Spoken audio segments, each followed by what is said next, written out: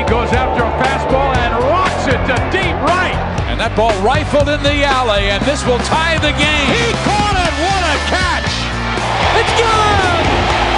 A game winner!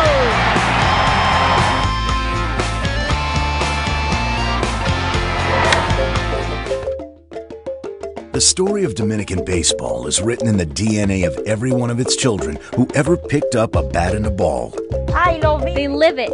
They live for baseball because from the time they wake up, all they want to do is go play. And the story of Vladimir Guerrero is that of a boy who endured crushing poverty while always striving for a better way of life. You go through a lot, but you need to keep moving forward.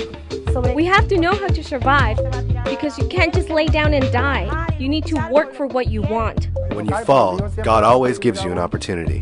Vlad found his opportunity through baseball and seemed destined for something special from the start. He loved baseball from an early age. He has always been that way. It seemed that God wanted him to do it because he never stopped. He always had that dream. And this little boy from the small Dominican village went on to do what most can only dream of. I knew we had signed a good player with good qualities. But the level Vladimir reached, the type of player that he is, I think that no one could have predicted that. And he has forever left the children of his hometown with the legend of Vladimir Guerrero. pelotero favorito es Vladimir Guerrero. Mi pelotero favorito es Vladimir Guerrero. Mi pelotero favorito es Vladimir Guerrero. Guerrero hits him well. Deep to left. Gone. Mi pelotero favorito es Vladimir Guerrero. Empieza y corre. López viene al home, viene el tiro al plato. Juega en el home, se barre. Y es out en el home plate. Mi pelotero favorito es Vladimir Guerrero, yeah. Mi pelotero favorito es Vladimir Guerrero. In the air. Right center field. Guerrero dives and makes an incredible catch. Here, all the mothers want their kids to be just like Vladimir Guerrero. This is Vladimir Guerrero before the bigs.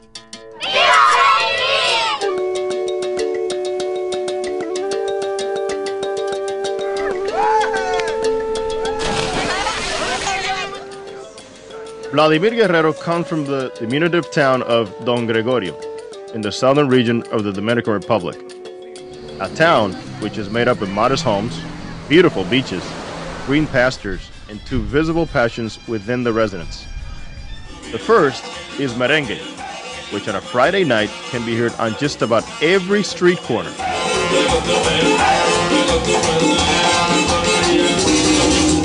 And the second is baseball, which at any moment can be seen anywhere, whether it is in the street, in a sandlot, or at the local diamond. The tiny village town of Don Gregorio is part of a hilly coastal region of the country called Nizao Bani. Located 40 miles southwest of the capital, Santo Domingo, Nizao is one of the Dominican's hidden gems for its beautiful scenery as well as a number of major leaguers it has produced, like Deivi Cruz, Juan Uribe, Miguel Tejada, and Vlad's brother Wilton Guerrero. With only 12,000 residents, 20% of whom make less than $1 a day, the people have come to rely on baseball as an escape from their harsh way of life. But the district's economy is still mainly dependent on farming and fishing. The lifestyle, as you would say, what we do here is farming and nothing else in Nizao. There aren't any industries. There isn't anything. What we do have is lots of valleys and, like I said, agriculture. Uh, we didn't have any roads. They would always say they were going to make them, but they would never do it. So we grew up walking on the gravel from our house to the baseball field or to the river. Vlad was one of nine children living in a two bedroom house with his mother Altagracia. And although they were a very tight knit family, the circumstances they lived in left much to be desired. Well, there has never been a lot of electricity, and we would only have water sometimes. When there wasn't any water, we would have to go get some so that we could bathe. So we would go to the river and bring water back to cook with and for the family to shower with. The family's home, it was just a little down the road from mine. It was a little home made of wood and tin. They did not have any money, so the tin roof was very bad. It was so bad that when it would rain, so much water would come in that it would be as wet inside as it was outside. With his family struggling to survive, Vlad would be forced to take on much of the burden, even as a young boy. My father had cows, donkeys, and horses. We would have to wake up at 4 in the morning every day to go. It was very difficult because we would wake up so early and then have to walk 30 kilometers to get there. It has helped me since I was only five, six, seven years old, and I would have to use all my strength to handle these goats, who were so much bigger than I was. I think that's where a lot of my strength comes from when I'm hitting. He would have to pull them really hard, like this, and from it, blisters would appear and his hands would become tough. Of course, I think it helped me a lot. I bat without gloves now, and I think that comes from having to pull on the goats with my bare hands. While these times did much to build Vlad's physical strength and character, many trials still laid ahead, as a crushing financial strains would soon tear his family apart.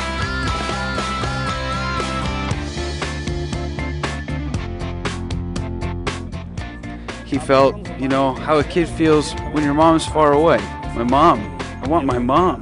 I want to be close to her.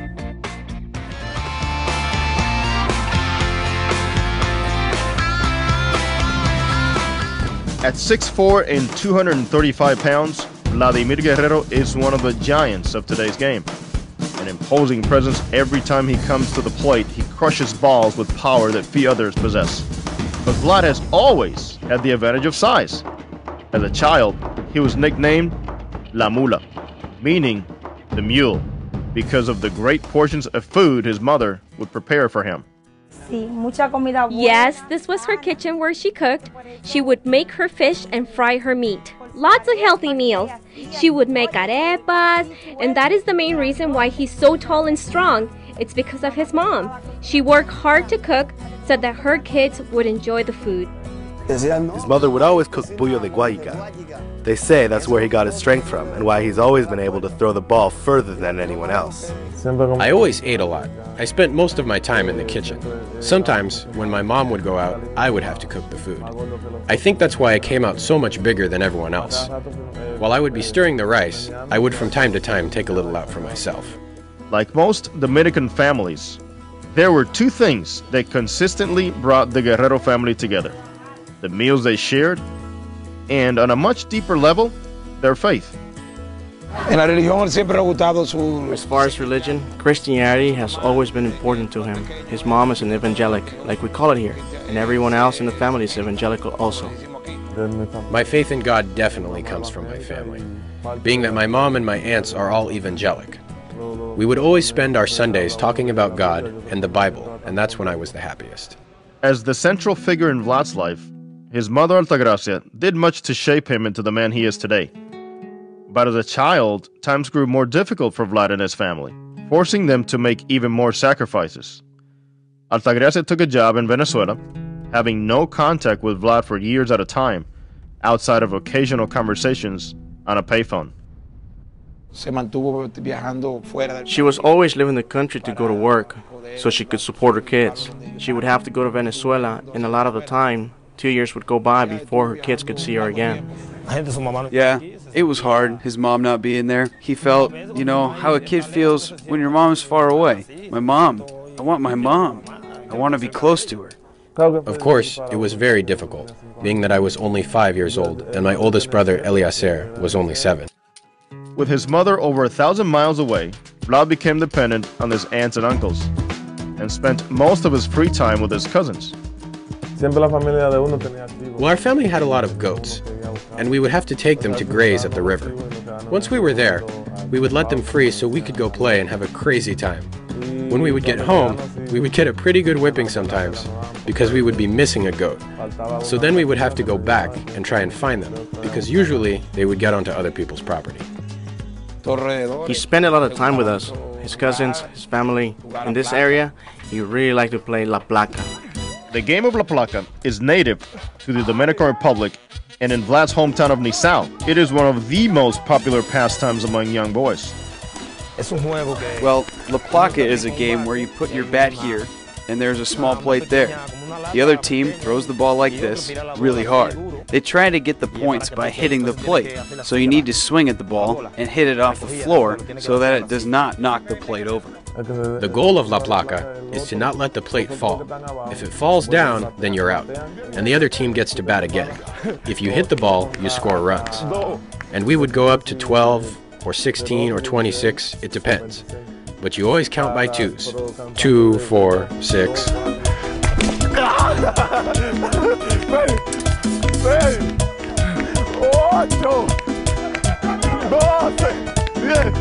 It has helped because sometimes you don't know how the pitcher is going to throw the ball. Sometimes he throws it high and the catcher would get the ball and try and knock the plate down from behind. And sometimes it would be on the floor or way outside. And that probably helps me today, to be able to hit balls that are thrown high or any bad balls. This is probably why I don't really have a strike zone.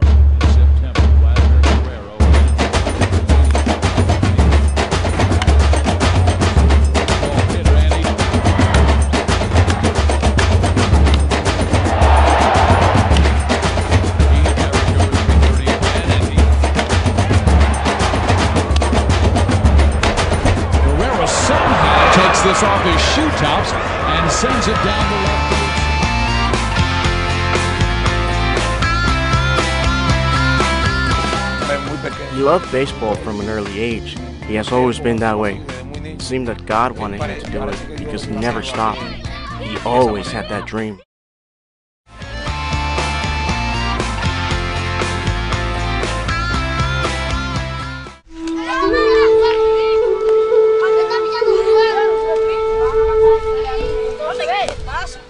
There's something mystical about baseball in the Dominican Republic. It is what puts a bat in the hands of any boy who is old enough to walk. And it is perhaps this inexplicable force which first brought baseball to Vlad. He got started by those in the family, older than him. Yeah, he learned from his cousin and his oldest brother Eliezer. He loved baseball from an early age. He has always been that way. It seemed that God wanted him to do it because he never stopped.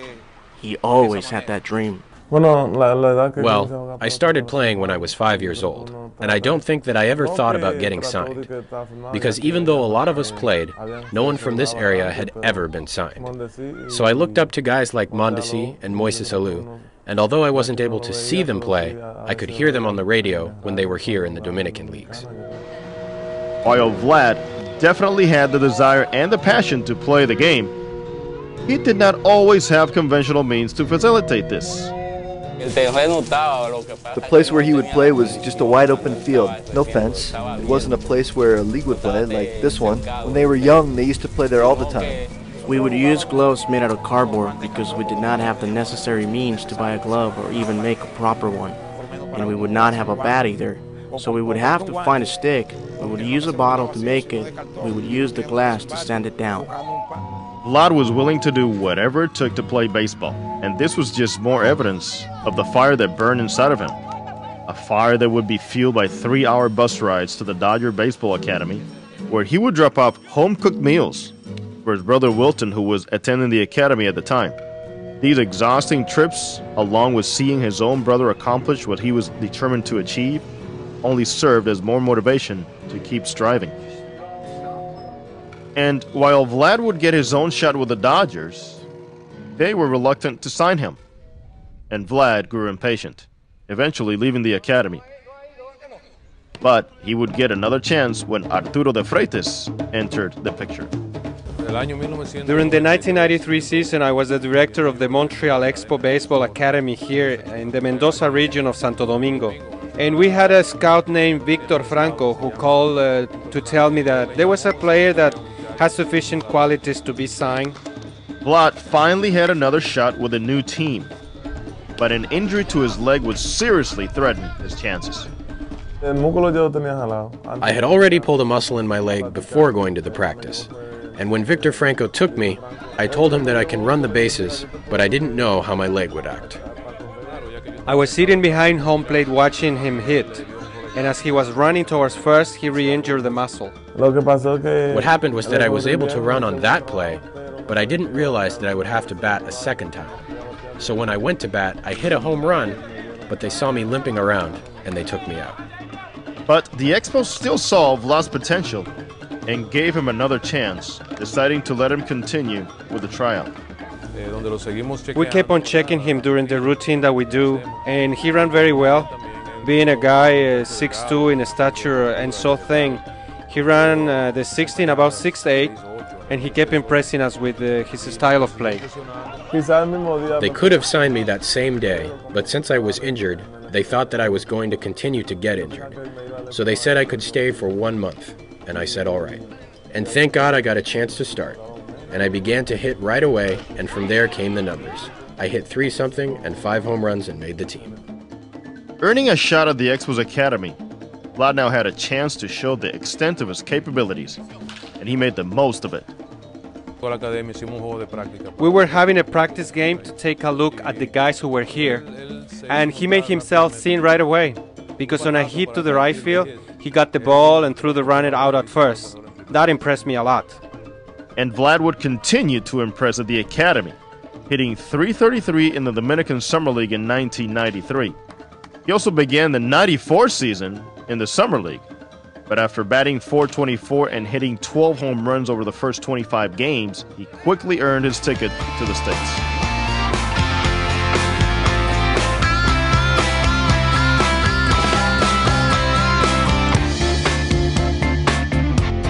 Well, the town was very content, happy to have it because it's a small town and no one imagined that a player from this location would ever have that kind of success that he was able to have in the big leagues.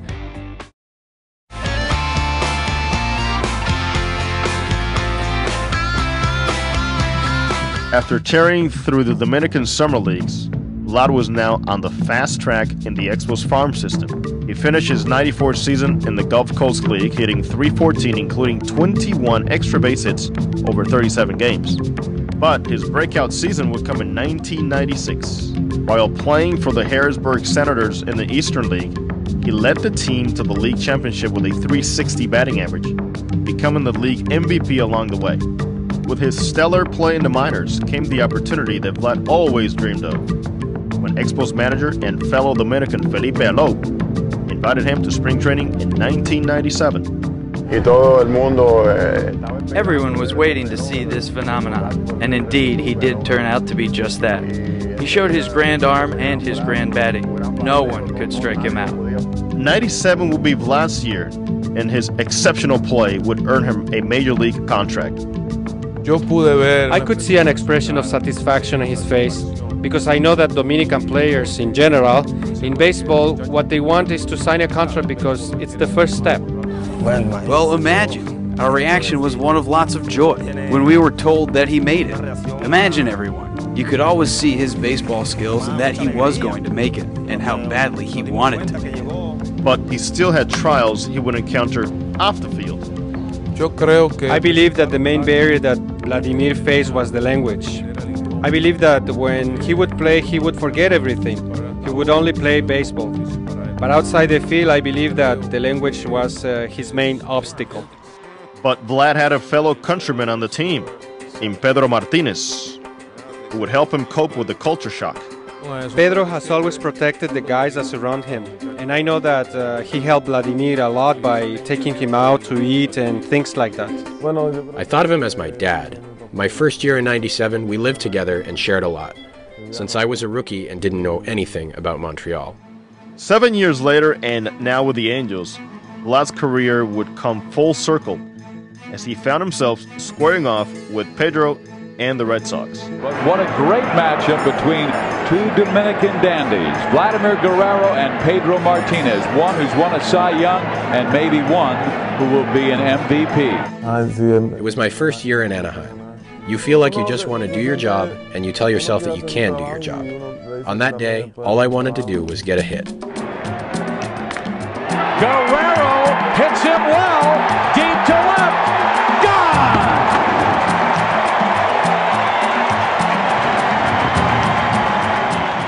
And thanks to God, I had nine RBIs. That's belted deep. Look at this!